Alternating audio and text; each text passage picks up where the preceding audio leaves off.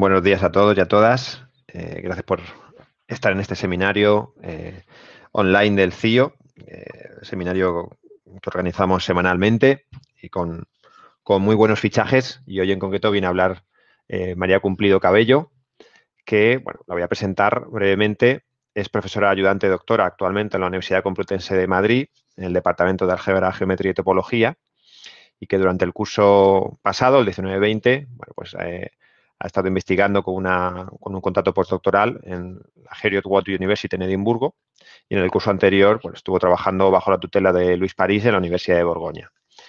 Es doctora en matemáticas por la Universidad de Rennes 1 y la Universidad de Sevilla. Su tesis recibió el segundo premio de la Fundación Rennes 1, la mejor tesis en matemáticas, ciencia y tecnología de la información y la comunicación. Y en este año 2020 recibió el premio de investigación matemática Vicente Caselles de la Real Sociedad Matemática Española y la Fundación BBVA. Y en particular, y con respecto a este último premio, bueno, pues María ha descubierto que lo que se aprende sobre los grupos de trenzas desde la geometría puede traducirse también al lenguaje algebraico y lo ha hecho resolviendo un problema que llevaba 20 años abierto en la comunidad matemática. Su campo de investigación tiene aplicaciones potenciales en criptografía y sistemas de seguridad informática. Y hoy en concreto viene a hablarnos al CIO sobre teoría de trenzas, un puente entre la geometría y el álgebra. Así que adelante, María, muchísimas gracias. Pues muchísimas gracias por la presentación y por la invitación. La verdad que a mí me sorprendió un poco cuando recibí la invitación, porque claro, yo hago matemática pura, pero os la agradezco mucho y lo que voy a intentar contar en los próximos 45 minutos, pues es un poco eh, mi trabajo, la motivación matemática y luego pues dar algunos ejemplos aplicados, que yo no trabajo mucho en eso, pero uh, pero me parece divertido e interesante, ¿no? Entonces, eh, pues vamos a empezar con, con lo obvio, que es, ah, si yo trabajo en teoría de trenza, ¿qué, es una trenza, no? Cuando, cuando piensas en trenza, pues, ¿qué, ¿qué, es lo primero que piensas? Pues en una trenza del pelo, ¿no? También en las pulseritas que haces trenciando cuerdas o, o por ejemplo, en cestería eh, y mi pregunta es, em, ¿estos son de verdad trenzas? ¿Estos se pueden modelizar con trenza eh, matemática? Pues os voy a dar la definición y, y ahora vamos a ver qué es una trenza matemática y qué no lo es. Entonces, las trenzas vamos a ver ahora que tienen muchas definiciones, que, en eso reside su interés, que, que, son muy versátiles.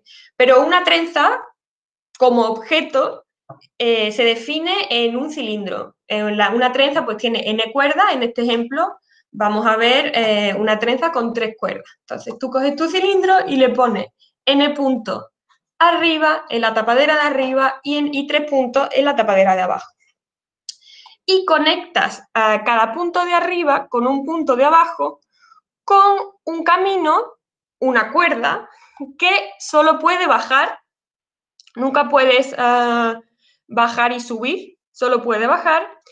Estas trenzas nunca pueden, estas cuerdas nunca pueden tocarse y básicamente eso es una trenza. Y las trenzas se consideran salvo relación de equivalencia. Esta relación de equivalencia es la deformación continua de las cuerdas, es decir, tú puedes estirarlas, puedes, puedes moverlas siempre que no, no se toquen entre ellas y que no muevan los puntos ni los de arriba ni los de abajo. Entonces, pues mm, dos trenzas son equivalentes si puedes deformar una en la otra usando esos movimientos.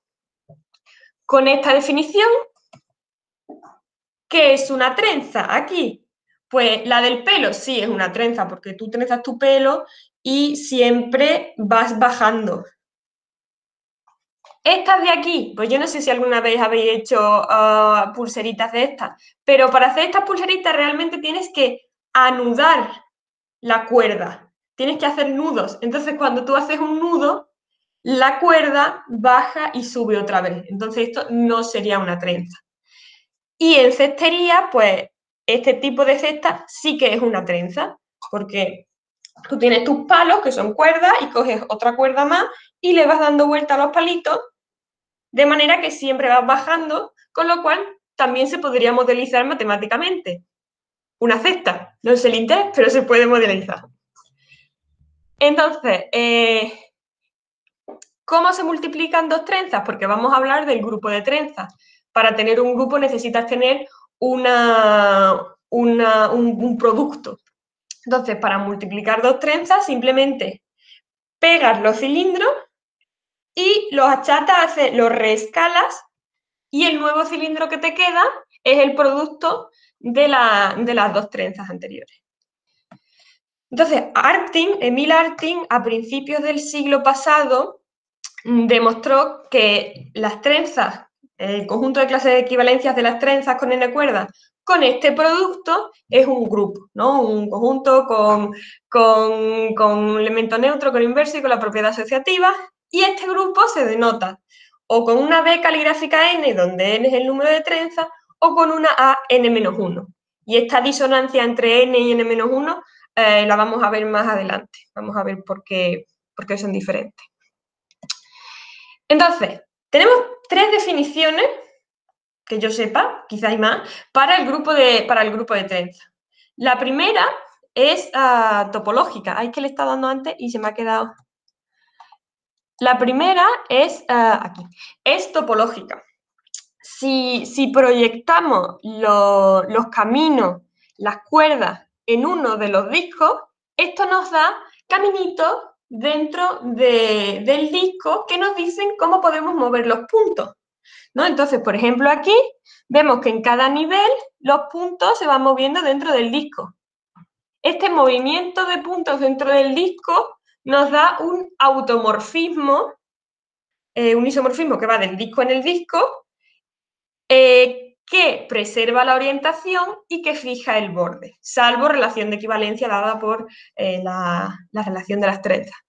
Esta definición se conoce como el mapping class group o grupo modular de, esta superficie del disco. En general, si en vez de poner el disco aquí pones una superficie y todo esto lo cambias, todo el disco lo cambias por superficie, tienes el mapping class group o grupo modular de, de esa superficie. Entonces, por un lado, una definición completamente topológica de las trenzas como mapping class group de, una superficie. Por otro lado, una definición más geométrica, eh, vista como, espacios eh, como lazos en espacios de configuración. ¿Qué es el espacio de configuración del plano? Pues un espacio de configuración de n puntos es simplemente precisamente todas las configuraciones de puntos ¿Qué podemos tener en el plano. Podemos tener los puntos así o así haciendo un cuadrado o los podemos permutar y los tenemos así. Entonces, eh, pues todo, todos esos conjuntos de, configuraciones eh, hacen el espacio de configuración. Si eh, le quitamos esos puntos, si miramos los lazos dentro de ese espacio de configuración, ¿no?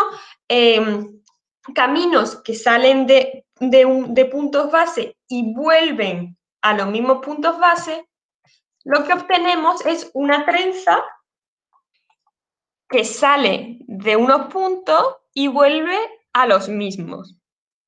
Esto es, un, esto es un subgrupo del grupo de trenzas que se llama grupo de trenzas puras, eh, pure braid. Entonces, claro, estas, estas son trenzas que siempre vuelven a los mismos puntos, pero en general las trenzas pueden volver, pueden ir de un punto a cualquier otro. Entonces, ¿qué hacemos? Cocientamos por el grupo simétrico y así obtenemos el grupo de trenzas. Entonces, esta es la definición más geométrica del grupo de trenzas. Y luego, esta es la que a mí me gusta porque soy algebrista, que es eh, que el grupo de trenzas se puede ver eh, como, un, como un grupo presentable, como un grupo con una presentación. ¿Qué es una presentación de un grupo? Pues es eh, una manera de expresar, de expresar un grupo de manera que tú tienes unos generadores, unas letras y unas relaciones, de forma que cualquier elemento del grupo tú lo puedes escribir con esas letritas y cada vez que veas una relación, pues puedes cambiar eh, una subpalabra por otra. Lo vamos a ver en las trenzas. Entonces, en las trenzas, ¿cómo podemos generar una trenza? Solo usando cruces de cuerdas consecutivas. Eh, por ejemplo, pues cruzamos la primera con la segunda, la tercera con la cuarta, la cuarta con la quinta, y así tú vas haciendo tu trenza, no necesitas ninguna instrucción más, simplemente ir cruzando cuerdas consecutivas. Entonces, nuestros generadores son los cruces de cuerdas eh, consecutivas y los inversos de los generadores son el mismo cruce, pero en el sentido inverso. De manera que, claro, hace uno y el inverso es, pues lo hace en el sentido contrario y se deshace, ¿no? Queda la identidad. Y vamos a tener dos tipos de relaciones. Si tienes dos cruces que, están, que no son adyacentes, que están lejos el uno del otro, entonces, ¿qué pasa? Que te da lo mismo hacer el primero o el segundo. Te da exactamente igual. Conmuta. Puedes hacer primero, mm, primero y luego el segundo o al revés. Conmuta. Tienes una relación eh, de conmutación. Y si son adyacentes, entonces tienes esta relación. Tiene el primero, el segundo y el primero. ¿Y qué pasa? Acordémonos que las trenzas se consideran salvo relación de equivalencia, salvo deformación. Entonces, si tú empujas esta cuerda de aquí, la vas empujando hasta aquí, lo que te queda es esta segunda, esta segunda trenza. Son equivalentes. Entonces, esto me da una relación 1, 2, 1 igual a 2, 1, 1. Entonces, en general, ¿qué pasa? Que yo tengo para n más una cuerda, tengo n generadores. Por eso mm, eh, antes tenías el grupo eh, Bn, que era igual a, n menos 1, porque para n trenzas tienes n menos un cruce. Entonces tienes tus n generadores para AN y estos dos tipos de relaciones. Si los cruces no están juntos, conmutan y si los cruces son adyacentes, tienes esta relación que se llama la relación del grupo de trenzas. Entonces, esto nos permite, en vez de trabajar con las trenzas de manera ah, más geométrica, más topológica, mirando deformaciones, mirando cómo se mueven los puntos, pues eh, simplemente con palabras y con, con relaciones. Eh, entonces, esta presentación corresponde a, una familia de grupos presentables mucho más grandes que son los grupos de Artin o los grupos de Artin Teach. ¿Por qué se dicen de Artin o de Artin Teach? Porque el que, eh, el que los creó realmente fue un matemático belga, bueno, que luego se nacionalizó francés, que se llama uh, Jacques Teach. Pero él hizo, él hizo un artículo que no tuvo mucha relevancia y le dio su idea al grupo de matemáticos franceses eh, Bourbaki que ellos ya publicaron en uno de los libros del Bourbaki, eh, pues los grupos mm, que se inventó Jack Titz, pero claro, lo llamaron en, en, homenaje a Artin, que era el que había creado las trenzas, pues los llamaron grupos de Artin, pero posteriormente pues se le, se le está intentando dar un poco de relevancia a Jack Titz y entonces pues hay gente que le llama Artin Titz. Hay otra gente que dice que, que Artin es más corto y que ya está, que, punto. Entonces, para definir un grupo de Artin en general, ¿qué necesitamos? Necesitamos un conjunto finito de generadores y lo que vamos a tener es una presentación con este conjunto finito de generadores y luego relaciones de este tipo, de producto alternado tienes que ST, ST, ST, ST es igual que T, ST, ST, ST, S, el mismo número de veces. Entonces, cualquier presentación de este tipo te da un grupo de Artin, o sea, que hay muchísimos más que grupos de trenza. Y lo que pasa es que sobre los grupos de, los grupos de Artin en realidad son muy misteriosos. Se saben muy pocas cosas de los grupos de Artin en, en general, muy pocas. Es como súper misterioso. Entonces, lo que eh, los matemáticos que nos dedicamos a esto, para, intentar mm, progresar, pues estudiamos subfamilias de grupos de Artin. Y yo en mi tesis estudié, uy, grupos de Coxeter, Coxeter, me, se me ha doblado. Eh, lo, que, lo que estudiamos son unos, unos grupos especiales que tienen que ver con los grupos de Coxeter asociados. El grupo de Coxeter asociado a un grupo de Artin es el mismo con la misma presentación, pero añade que el, cuadrado de cada generador es la identidad. Y, entonces, cuando este grupo de Coxeter es finito, el grupo de Artin se dice que es eh, de tipo esférico. ¿Por qué? Porque en realidad lo que se definió primero fueron estos grupos de Coxeter que vienen de espacios de reflexiones, de espacios teselados, es mucho más geométrico. Esto tiene un origen completamente geométrico. Y, cuando los grupos de Coxeter son finitos, esos grupos de reflexiones vienen de grupos de reflexiones de la esfera. Por eso se dice que, estos grupos son de tipo esférico. Entonces, en mi tesis yo me dediqué a estudiar eh, este, tipo, este tipo de grupos. Y también eh, para expresar grupos de Artin usamos eh, grafos de Coxeter, se llama, para poderlo expresar bien, de manera que que tienes que el conjunto de vértices es el conjunto de generadores. Si eh, la longitud de la relación, de esta relación de aquí, es 2, si los elementos conmutan, entonces no hay arista entre los vértices. Si la relación es 3, la relación del grupo de trenzas, le pones una arista entre los vértices. Y si es mayor que 3, entonces esta, esta arista viene, mm, viene etiquetada con la longitud de la relación. Y cuando el grafo de Coxeter es conexo, entonces se dice que el grupo de Artin es irreducible. Irreducible porque esto significa que no se puede expresar como producto directo de otros grupos de, de Artin. Entonces, los de tipo esférico se los clasificó Coxeter pues, también a principios del siglo pasado y se clasifican en 10 tipos. Estos son los irreducibles, todos los demás de tipo esférico son productos directos de estos tipos de, de, grupos. Este, por ejemplo, pues es el grupo de trenza, como ya hemos visto. Bien, entonces, ¿cuál fue el objetivo de, bueno, mi, objetivo sigue siendo ese, he añadido otros, pero, pero mi principal objetivo es eh, decir, bueno, hay eh, resultados que existen para las trenzas, que eh, se obtienen usando esa definición topológica de, las trenzas, pero muchos resultados se generalizan a grupos de Artin, sobre todo a grupos de Artin esféricos. Hay muchos resultados que existen para las trenzas que, se generalizan a grupos de Artin, pero no se pueden usar las mismas técnicas, porque los grupos de Artin, ya veis, es simplemente una presentación muy simple, no tiene a priori mm, pues una definición topológica que puedas estirar, que puedas coger, no, no, tienes eso. Entonces, mm, pues el método de decir, bueno, es que puedo encontrar un análogo algebraico a este tipo de herramientas topológicas. Entonces, mis recursos principales para hacerlo en mi tesis, pues es, por un lado, eh, las trenzas actúan sobre el complejo de curvas del disco. Veremos más tarde qué es el complejo de curvas y veremos eh, qué significa una acción.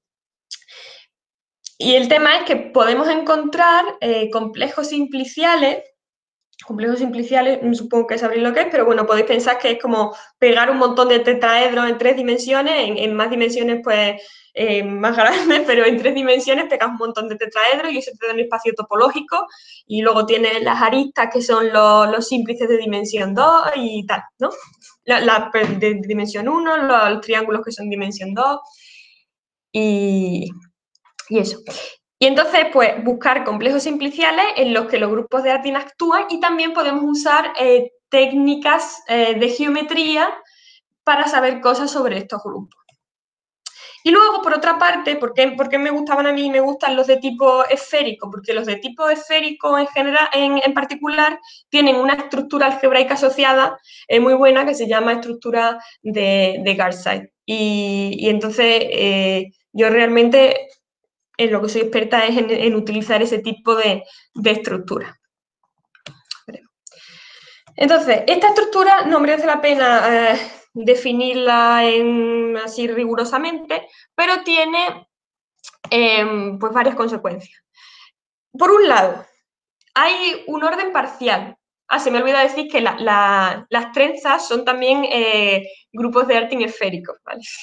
bueno, lo habréis, lo intuido, pero entonces tienen, eh, eh, esta, esta, estructura de Garsey induce un orden parcial. Un orden parcial quiere decir que no puedes ordenar todos los elementos del grupo, pero existe un orden eh, que es transitivo, que si A es menor que B y B es menor que C, entonces A es menor que C, eh, y que es reflexivo, que si A es menor que B y B es menor que A, entonces A es igual a B.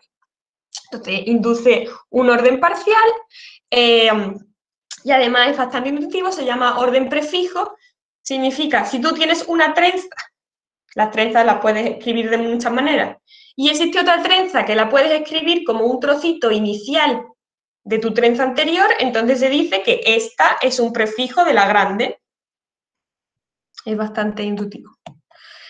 Y luego también existe un elemento especial que se llama elemento de Garside y cuyo, cuyo cuadrado te genera el centro del grupo. El cuadrado conmuta con todo. Y este elemento eh, en las trenzas se ve muy fácil porque es simplemente coge tu, una trenza trivial con todos los hilos rectos y le das media vuelta, plac. Entonces, ¿qué es el cuadrado? El cuadrado es coger toda la trenza y darle una vuelta entera, de manera que si tú conjugas por eso que hace, que hace el elemento, el elemento da una vuelta entera y se queda igual, por eso genera el centro. Entonces, los prefijos de este elemento, los, elementos que se pueden ver como un cachito inicial de este elemento se llaman elementos simples. Y eh, esto es, lo, yo diría, una de las ventajas principales que tiene la estructura de Garza es que toda trenza tiene una forma normal. ¿Qué quiere decir una forma normal? Que eh, una forma canónica. Que si tú tienes dos elementos que, en realidad son equivalentes, porque tú puedes tener dos palabras que se escriben diferentes, pero en realidad son el mismo elemento. Tú puedes convertirlos a una forma normal, a una forma canónica, que si son equivalentes va a ser la misma. ¿Esto qué, significa? Esto significa que podemos resolver el, el problema de la palabra saber cuándo dos elementos son iguales o no. Que esto en general pues no es un problema que se sepa para todos los grupos.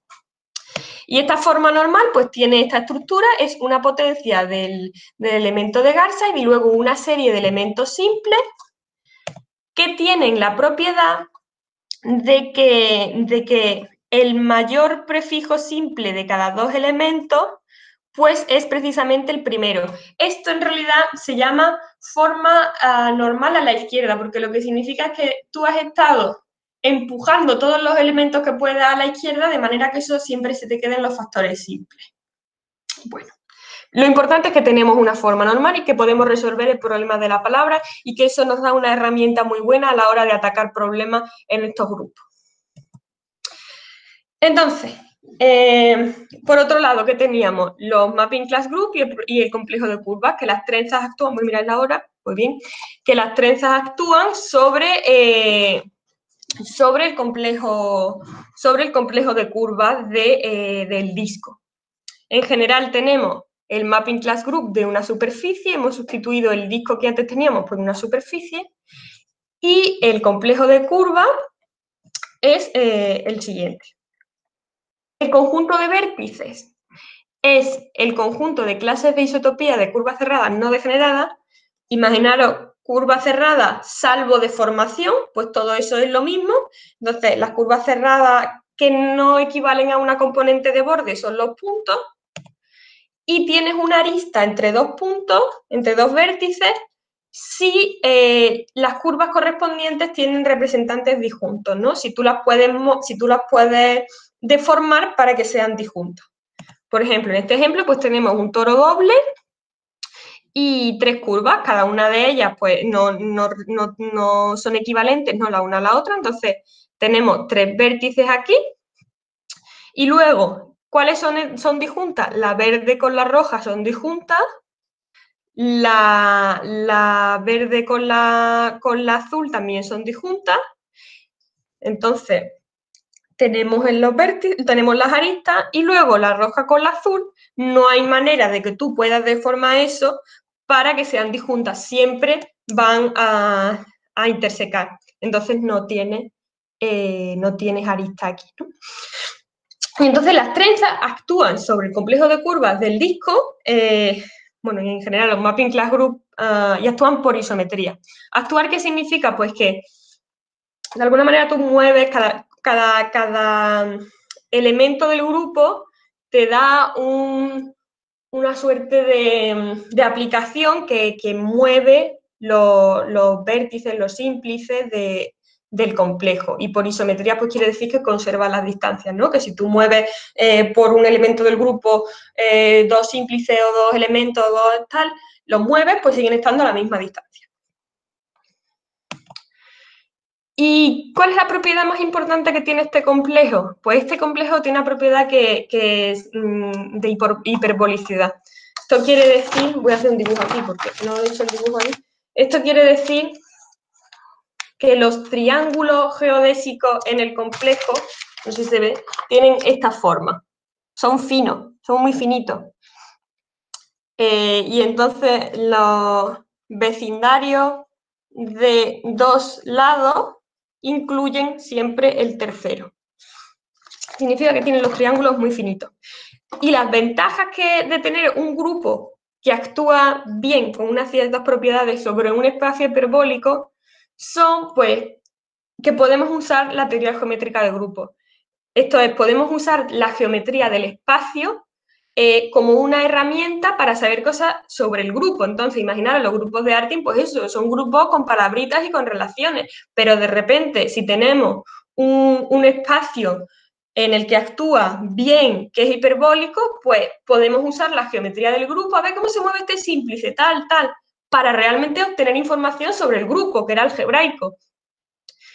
Y luego, pues también podemos resolver el problema de la palabra, en fin, hay muchas muchas consecuencias buenas de tener un espacio hiperbólico.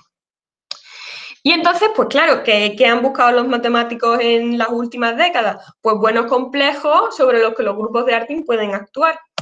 Entonces, de Ligne y luego Ruth Charney y Michael Davis eh, crearon un complejo en el que actúan todos los grupos de Artin, pero no se sabe si son hiperbólicos. Se sabe que son para algunos grupos eh, CAT0, que son, es una propiedad geométrica también buena que ha ayudado a, a, sacar bastantes propiedades de los grupos de Artin. Luego también se tiene el complejo de, longitud suplementaria, que es que este, en, vez de estar definido para todos los grupos de Artin, está definido para los grupos de Garside y que para los grupos de Artin pues son, son hiperbólicos, tienes una acción hiperbólica.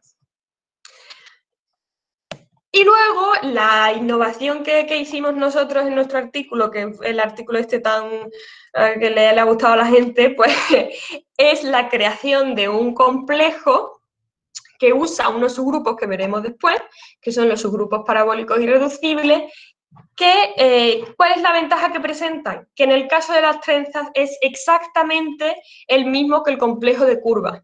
Entonces tú tienes una cosa que es completamente análoga. Entonces, pues eso da eh, como esperanza de que realmente las mismas cosas que tú, que tú puedes usar para el complejo de curva, lo puedas usar para este nuevo complejo en grupos de ARTI. Ese es el tema. Entonces, ¿qué, es un subgrupo parabólico? ¿no? Eh, para definir un subgrupo parabólico, primero necesitamos saber qué es un subgrupo parabólico estándar. Un subgrupo parabólico estándar es simplemente un subgrupo generado por un subconjunto de generadores. recordáis que para generar un grupo de ARTI necesitamos un, conjunto finito de generadores, pues ahora en vez de coger ese, pues coger un conjunto más chiquitito. Y lo que te genera eso es lo que se llama un subgrupo parabólico estándar. Entonces, eh, Van der Leck demostró en su tesis que, eh, se me olvida una vez aquí, que un subgrupo parabólico estándar es también un grupo de Artin, que te puede parecer una cosa que es muy, muy evidente, y dices, ah, bueno, pues si cojo otro subconjunto de generadores en un, conjunto chiquitito, pues sí, también me queda. No, porque te podrían aparecer relaciones nuevas, pero no es el caso. Entonces, eh, como es un, un, subgrupo, como es un grupo de Artin, pues tenemos también un grafo de Coxeter asociado. Entonces, cuando este grafo de Coxeter asociado es conexo, pues nuestro subgrupo parabólico estándar es irreducible. ¿Y qué es un subgrupo parabólico en general? Pues en general un subgrupo parabólico es cualquier conjugado, cualquier conjugado de un estándar. Coge un, subconjunto de generadores, el, el subgrupo generado por eso y lo conjuga. Y lo que te da eso es un subgrupo parabólico en general. Y un subgrupo parabólico irreducible que pues es con esta definición cuando el, el subconjunto que estás cogiendo tiene asociado un grafo de Coxeter conexo. Entonces, esto es un parabólico irreducible. Y ahora, ¿por qué tomamos estos parabólicos para construir nuestro complejo? Porque estos parabólicos, en el, caso de las trenzas, eh, están en biyección con las curvas del complejo de curvas. Y lo vamos a ver. Entonces, tomamos un esto es el, grupo de trenzas de cinco cuerdas con cuatro generadores. Y vamos a tomar el parabólico estándar em, generado por el segundo y el tercer generador, ¿no? el cruce de la cuerda con, del segundo con la tercera y el tercero con la cuarta. Entonces, en el disco, en el disco, ¿qué es el segundo generador? El segundo generador es hacer un, un twist, ¿no? Cambiar el segundo punto por el tercer punto. Eso es hacer un cruce, cambiar el segundo punto por el tercer punto. Y, eh, el siguiente generador, pues eh, cambiar el tercer punto por el cuarto punto. Eso es hacer el cruce. Entonces, a este conjunto de generadores le asociamos la curva, la curva cerrada eh, circular, ¿no? Que engloba a los puntos que pueden ser movidos por estos, por estos generadores, ¿no? El segundo, el tercero y el cuarto, esta curva. En general, cualquier conjunto de, a cualquier subconjunto de generadores, pues le asocia eso la curva, eh, o el conjunto de curvas que engloban los puntos que se pueden mover por esa, por esa, por esos cruces, por esos generadores. Pero esto, claro, esto es para estándar. ¿Qué pasa cuando conjuga? Porque un subgrupo parabólico es cualquier cosa de estas conjugada. ¿Qué pasa cuando conjuga?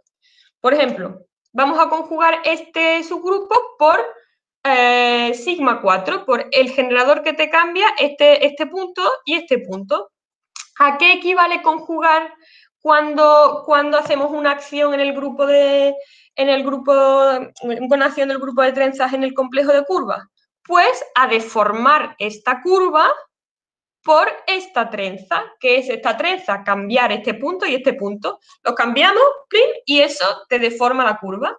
Entonces, este, este subgrupo parabólico tiene asociada esta curva, que es la deformación de esta curva por el elemento que conjuga. Y eso que te da, te da una biyección, efectivamente, de los subgrupos parabólicos irreducibles, ahora explico por qué, con las curvas cerradas simples no degeneradas, bueno, las curvas, para entendernos nosotros bien. ¿Y por qué tienen que ser irreducibles? ¿Por qué tiene que ser el grafo de Coxeter conexo? Porque si cogemos uno que no es conexo, es decir, si cogemos el sigma 1 y el sigma 4, ¿no? ¿Qué pasa? Que lo que obtienes es una curva aquí y otra curva aquí. Obtienes una multicurva, una familia de curvas. Y realmente eso no lo contempla el, eh, el complejo de curva. El complejo de curva eh, lo que tiene son curvas, no multicurvas. Entonces, para coger solo curvas, pues tomamos los subgrupos parabólicos irreducibles. Bien. Eh, y ahora, tenemos nuestros vértices. Ahora necesitamos nuestra relación. ¿Cuándo son dos curvas adyacentes? cuando son, cuando son disjuntas, ¿no? Cuando, cuando no, no intersecan. Pero claro, aquí tenemos dos, tipos de situaciones. Uno, que una curva rodea a la otra, en cuyo caso, pues, un subgrupo está contenido en el otro.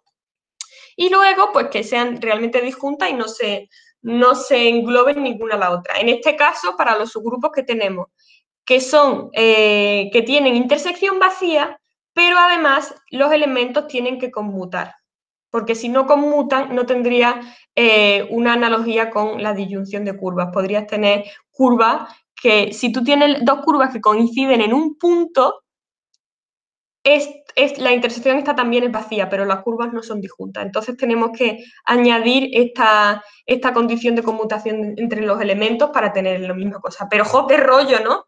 Qué rollo que yo tenga que ponerme a comprobar todo esto si yo quiero saber si dos subgrupos parabólicos son disjuntos o no son disjuntos. Porque claro, aquí los tenemos estándar, pero tú imagínate eh, dos parabólicos mm, conjugados, eso puede ser un horror y te tienes que poner a, comprobar todo esto, pues, pues no. Entonces, eh, nosotros lo que hicimos fue, mm, fue eh, establecer una condición de disyunción mucho más sencilla que usa, eh, ¿os acordáis del elemento de, de Garside, este que era la trenza, la trenza simple que le dabas una vuelta? Pues, pues usamos realmente ese elemento, eh, la potencia que genera el centro. Efectivamente. Y, en, el caso de, los parabólicos, cuando tú conjugas, pues te basta conjugar ese elemento para obtener el generador del centro. Entonces, coge realmente el generador del centro del subgrupo parabólico. Entonces, eh, eh, con este, este lema lo que nos dice es que dos subgrupos parabólicos son conjugados si eh, puedes conjugar estos generadores del centro. Y entonces, Usando esto, lo que demostramos es que realmente dos subgrupos parabólicos son eh, adyacentes en, nuestro, en nuestro complejo si los generadores del centro conmutan. Entonces ahora no tienes que ponerte a comprobar si todos los elementos conmutan, porque además eso es imposible porque hay infinitos elementos. Solo tienes que, comprobar si los elementos del centro conmutan y tienes una condición eh, mucho más sencilla. Y entonces definimos el complejo de subgrupos parabólicos como eh, un complejo simplicial en el que cada simple de dimensión n es un conjunto de subgrupos parabólicos irreducibles, tales que eh, sus generadores del centro conmutan. Y como el complejo de curvas es hiperbólico, pues conjeturamos que, este complejo pues, tiene, mm, tiene bastante oportunidades de ser eh, también eh, hiperbólico. De hecho, ya se ha demostrado que en algunos casos eh, es hiperbólico. La gente se ha interesado, se ha interesado en esto. Ah, y bueno, y no lo he dicho, pero el, problema este de, de, mm, hace 20, que, que, estaba sin resolver hace 20 años, era si la intersección de subgrupos parabólicos es un subgrupo parabólico.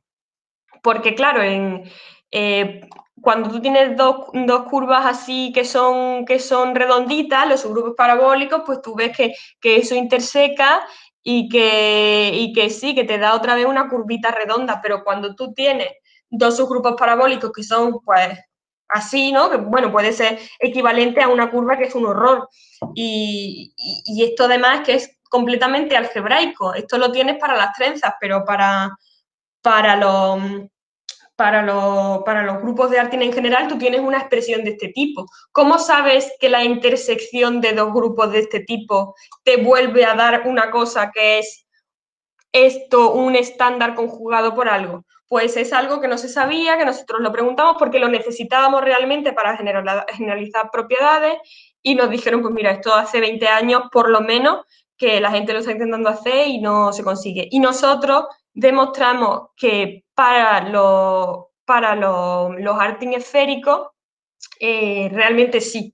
La respuesta es que sí y, esa fue la, gran, la, gran pregunta que respondimos.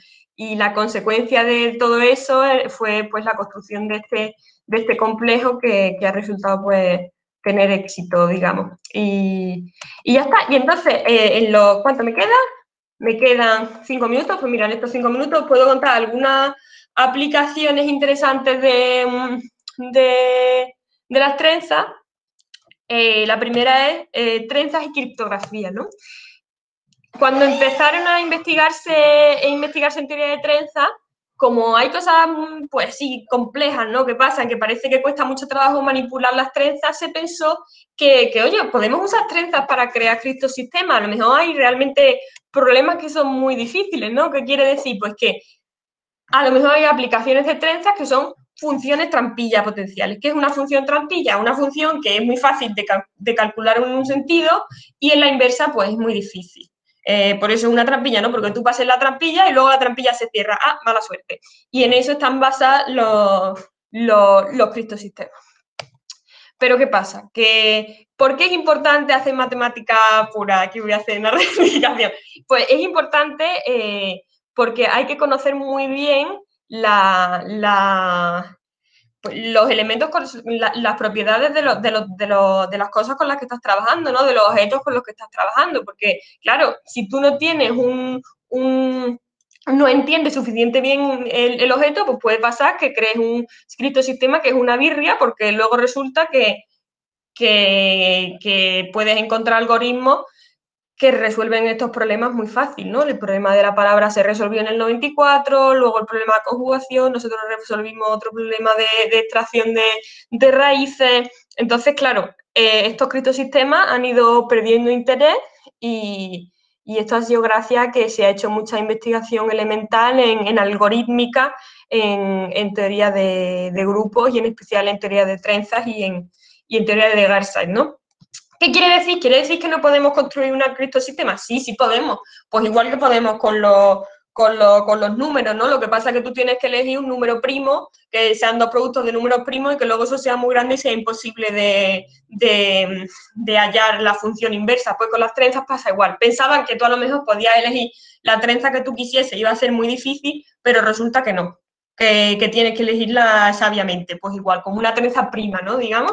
Pero aún así, sigue habiendo gente que intenta construir eh, eh, estos sistemas que usan trenzas y, hasta hace muy poco pues había uno que, es un sistema de firma digital, que incluso se pensaba que sería resistente a ordenadores cuánticos, que es el Walnut DSA, pero bueno, se han encontrado ataques y tal, y bueno, la criptografía es un poco así, ¿no? La gente crea y luego otros destruyen y así, pero bueno, sigue habiendo, sigue habiendo ahí lucha mm, de trenza.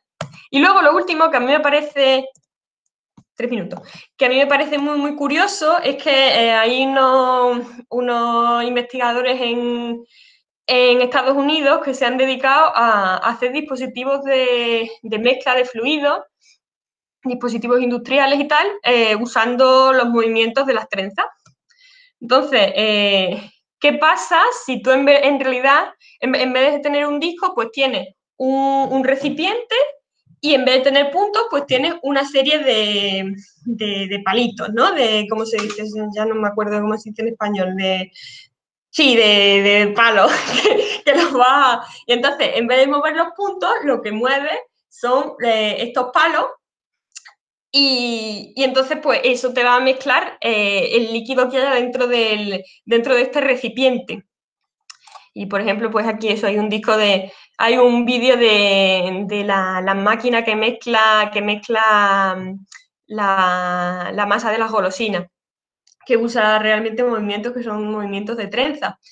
Y entonces, estos dos matemáticos, Jean-Luc y Mathieu Fin, pues, Matthew Fin, perdón, ya me ha ido francés, se, respondían a la pregunta de cuáles son las mejores trenzas, los mejores movimientos que puedes usar para mezclar líquido. Entonces usan una clasificación de, las trenzas que, bueno, existe para todos los Mapping Class Group, pero te dice que las trenzas se pueden clasificar en tres tipos, en periódicas, reducibles y pseudonosoft, y que estas pseudonosoft realmente son eh, las que generan más entropía en la superficie, digamos, la que, la que te, te lían las curvas más dentro del complejo de curvas.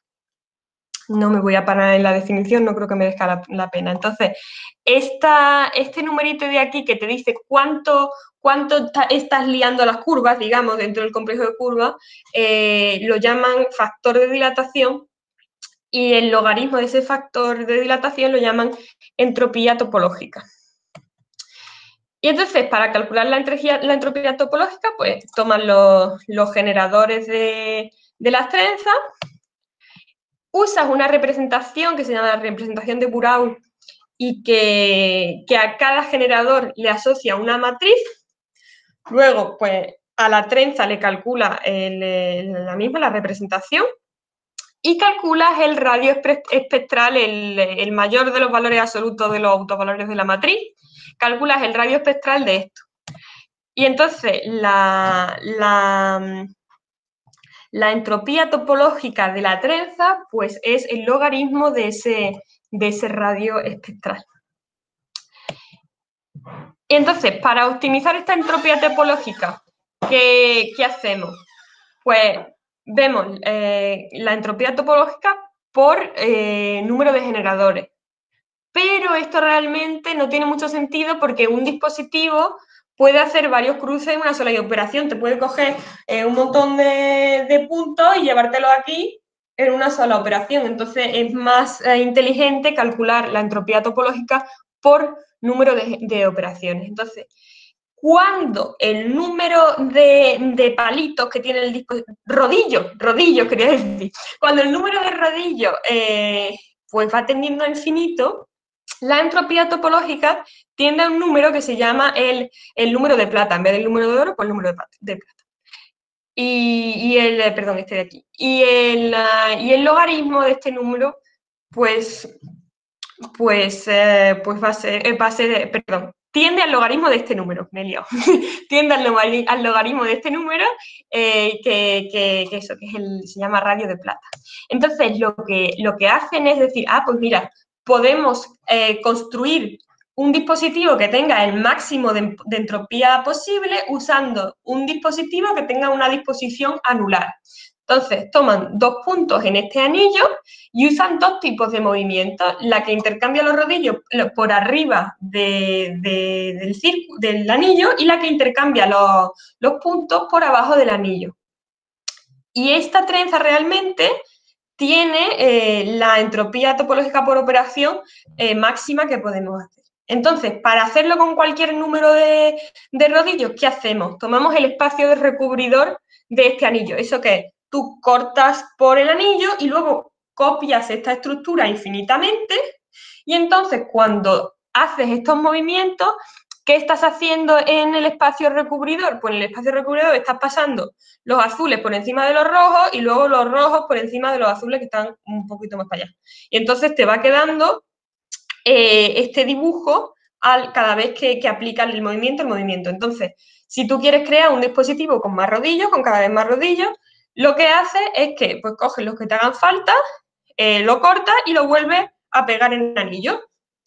Y entonces pues te quedan eh, dispositivos así parecidos a estos y ellos pues incluso se entretuvieron en, crear modelos en, Lego, así que te... A ver si se para.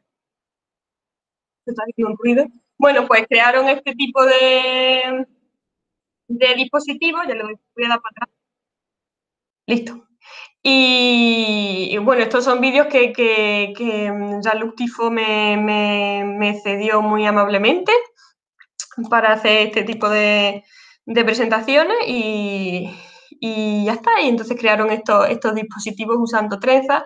También ellos usaron las trenzas para estudiar movimientos de, de objetos que flotan en el mar usando más eh, la, definición, la definición geométrica de espacios de configuración, pues para estudiar objetos que flotan en el mar y sus trayectorias y, tal, y hacen cosas muy bonitas con, las trenzas. Y nada, esto es lo que quería contaros y espero que, os haya gustado.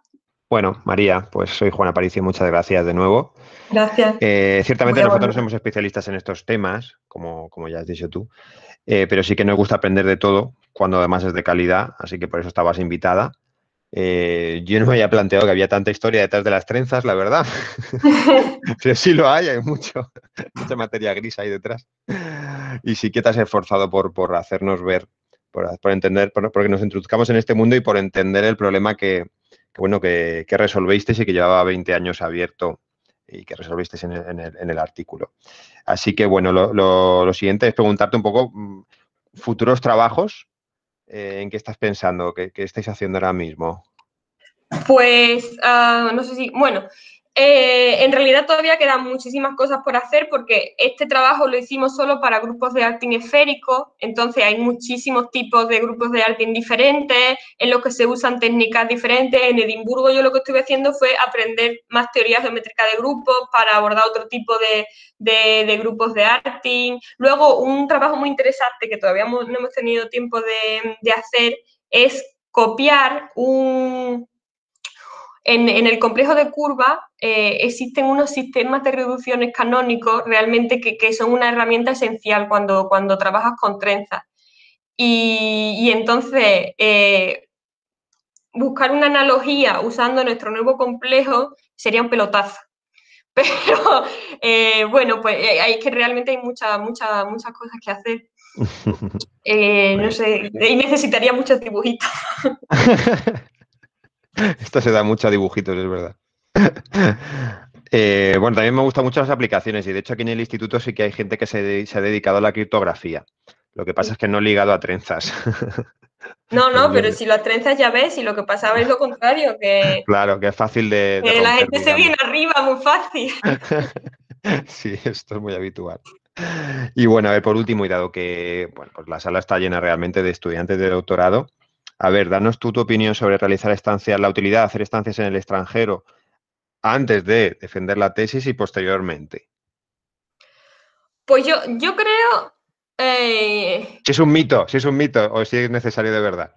Hombre, yo creo que necesario, necesario eh, no es, pero creo que es importante, o sea, creo que te aporta, que te aporta, que te aporta mucho porque ves cómo trabajan otras personas, porque no en todos los países se trabaja igual. Eh, yo creo que también el, folclore matemático es diferente en cada país te relacionas con otras personas, lo cual da lugar a que aprendas cosas nuevas, que no estés siempre trabajando en lo mismo. Eso está bien, claro. Luego, luego yo no sé si merece la pena estar cinco años fuera, ¿no? no porque realmente en matemática no necesitas mucho, no necesitas mucho, no necesitas superordenadores, ni necesitas eh, un laboratorio pro, ¿no? Que me decían, ¿quieres ya trabajar a Estados Unidos? No, si, si yo puedo trabajar desde mi casa, yo puedo trabajar ¿sabes? Y lo que necesitamos es pues, poder colaborar con gente, intercambiar ideas y tal. Entonces yo creo que llega un momento, eh, realmente lo, importante es que, puedas intercambiar eh, ideas con, el mayor número de personas posible. Yo creo que las conferencias son, son importantes y que a temprana edad y de vez en cuando está bien hacer estancias, claro. Eh, creo que sí, que te aporta te aporta como persona y como matemático, sí. Siempre digo de broma que en un instituto de matemáticas, con un departamento de matemáticas, si nos encerraran a todos en nuestro despacho y nos pasaran tranchetes por debajo de la puerta, podríamos ir trabajando y publicando sin ningún problema. Siempre, siempre yo, hombre, yo creo que es importante porque las colaboraciones son lo más importante, ¿no? Creo que hay muy poca gente que se dedica a trabajar sola y sin... Algunos eh, matemáticos hay, ¿eh? Algunos sí, claro, no, algunos hay, pero pero yo creo que más cada vez menos. que vivimos y que todo es tan especializado y que cada uno se dedica a una cosa, si no hablas con gente que te diga, oye, ¿y esto? Sí. ¿No? Y finalmente, tema laboral, a ver, eh, porque tú, bueno, has conseguido al final entrar eh, en Madrid, pero ¿cómo ves el tema laboral eh, en el presente y el futuro a corto plazo? Digo, para todos los que están aquí en la sala. Pues no sé. Eh, de matemáticas, informática, porque aquí hay mezclado, ¿no? hombre, yo creo que yo creo que en matemática aplicada la cosa está mejor, ¿no? Eh, no sé, a lo mejor me pegáis, pero, yo creo, yo creo que yo creo que igual eh, hay más hay más oportunidades. De hecho, conozco a gente que se ha pasado de matemáticas puras a matemáticas aplicadas porque ha encontrado mejor, mejores oportunidades, se interesan más. Yo creo que la clave está en que no te importe, que no te importe moverte, que es duro decirlo, ¿no? Porque porque, claro, a lo mejor en un momento dado quieres tener tu familia y, y. Pero yo creo que si no te mueves dos o tres años, mm, luego no. Mm, sí. Que, es una, que, es una pena, a mí me parece una pena, porque luego además te vas y dices, y me voy a volver y voy a cobrar la mitad de lo que cobraba antes. Correcto, sí. Hemos estado hablando con algún otro investigador que, que ya está, de hecho, fuera y bueno, hablamos de la posibilidad de volver, mm, y sí que quieren volver, pero claro, ¿a qué precio? ¿A qué precio? Exactamente. ¿A qué precio? Y la gente también se va y hace su vida afuera y las condiciones mm. que le ofrecen pues son mejores y depende de, si te da igual hacer tu vida afuera, pues igual en Reino Unido, en Reino Unido hay buenas oportunidades, en, en Francia se habla francés, pues también tiene, Francia es un país donde puedes conseguir un puesto fijo eh, bastante pronto, dos o tres años después de terminar tu tesis. Que, claro, eso es, a mí al final lo que me ha abierto más las puertas ha sido el francés, no ha sido el inglés, fíjate. Qué cosa. pero, pero sí, bueno, depende de lo que. Yo creo que sí, que te tiene que gustar mucho, que si no te gusta no merece la pena. No merece la pena porque, porque cobras poco, te tienes que mover todo el rato. Lo bueno es que puedes viajar, ahora ni siquiera podemos viajar.